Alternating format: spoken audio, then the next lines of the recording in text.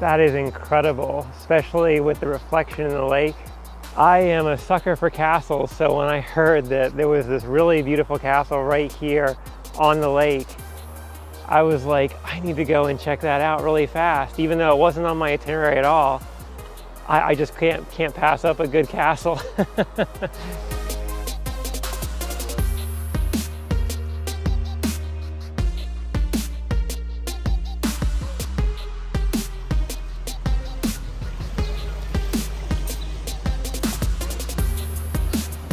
I was in this exact same spot last year, but you couldn't see anything because of the rain and the fog. But today it's perfect weather and I can see all the mountains around this area. It's just gorgeous. I could just sit here all day.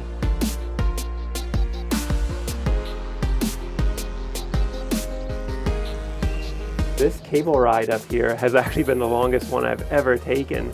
And I've done gondolas in all kinds of places in Asia, the USA.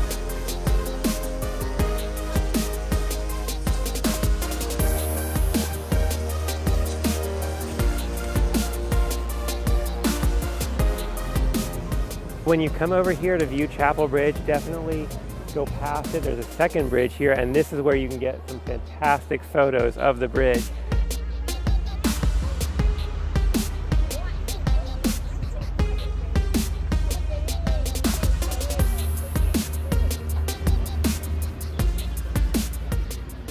Fantastic long green bench at the top of this hill that you can just sit on and just relax and get a nice view of the mountains that are right over there next to the city.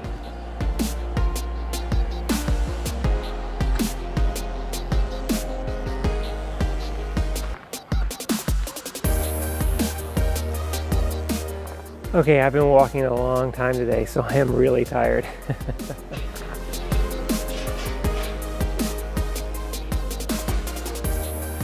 All right. Well, this is actually a perfect spot to take a rest with a really nice view of the church behind me. So right here in my backpack, I actually took some chocolates today from the hotel. And uh, now I'm gonna try them really quick since I'm taking a rest. These are called Kagi. And uh, apparently they're famous in Switzerland. They're really cheap. You can buy them at the uh, co-op store for a few dollars. And uh, they're little chocolate wafer cookies. They're really good actually. So if you want some really good, inexpensive Swiss chocolate, highly recommend these. Mm-hmm. If I'm not careful, I'll probably eat the whole box.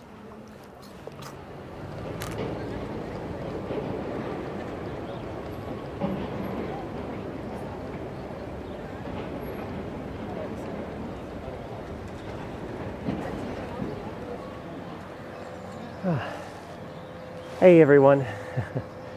Today is one of the nicest days I've been here in Zurich, and I can even see the mountains in the distance with the snow on top. Really beautiful. But this is Lindenhof Park, and it's one of my favorite spots, probably in the whole country, because it's so peaceful and got this incredible view of the river right there and of the buildings lining it. It's very, very European looking. in fact, Switzerland might be the most European country, which kind of makes sense because it's located right in the middle of everything. It's surrounded by five countries, so it borders.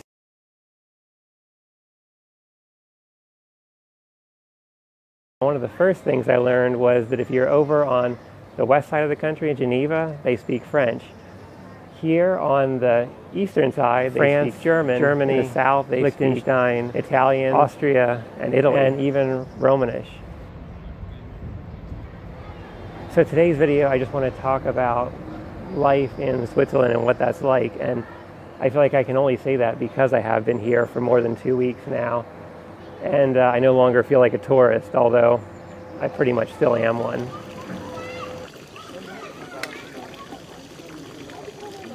I was saying earlier, I do really love this park, but it can get very, very busy with tourists like me who want to come for the views of the city of Zurich. Anyway, moving on, what I want to talk about first is probably the most important thing when thinking about coming here to visit or to stay, and that's the expense of living because it is probably the most expensive country in the world. Things are not cheap here, let's put it that way. And so I've learned quite a bit about how to manage my money and how to make it go further. The ways I've found to save money actually just revolve around where I stay, what I eat, and how I get around. So I would say find yourself a cheaper hostel rather than a more expensive hotel. As far as eating goes, go to the local grocery store like the co-op or Denner. They're everywhere, even the train stations. And I get most of my meals from there, honestly. Going to a restaurant or cafe can cost quite a bit, actually. So I try not to go there too often. Although I will admit, I need my cup of coffee every once in a while. So that's something I will splurge on. As far as getting around, you can rent a car and it's quite easy because the roads are fantastic. Just stay, you know, within the speed limit, you'll be fine. And if you're like me, you're a citizen, all you need is your regular driver's license to rent a car. But I would say the best way to get around is actually just to use public transport here. And it's fantastic. It goes to every small village, every major city. It's clean, it's comfortable, it's very fast. And it's not that expensive, especially if you get a pass or you get a ticket that lasts a little bit longer, which I've done because I've been here a few weeks now.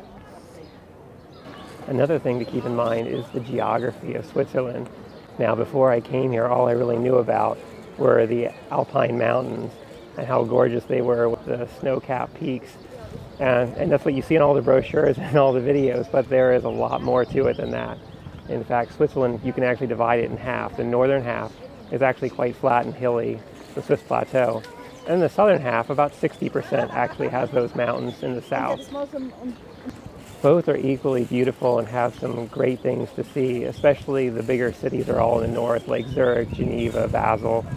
And then in the south, you've got a smaller city of Interlaken, which is kind of a jumping off point to see a lot of those places in the Alps people want to go to, like Grindelwald and Zermatt. Another great thing about the public transit when we're talking about going around is that you can pretty much get anywhere in this country in three to four hours.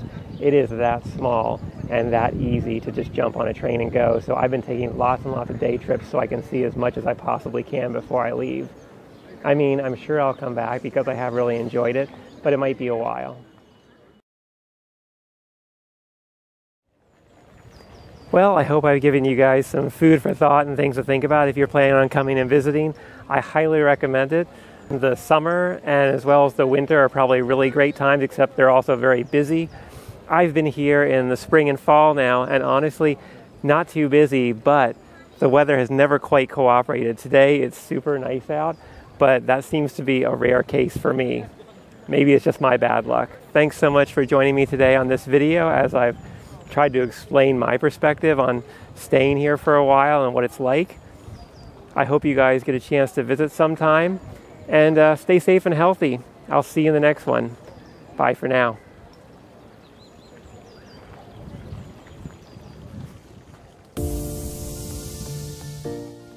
Thanks for joining me today. Life's a journey meant to be shared.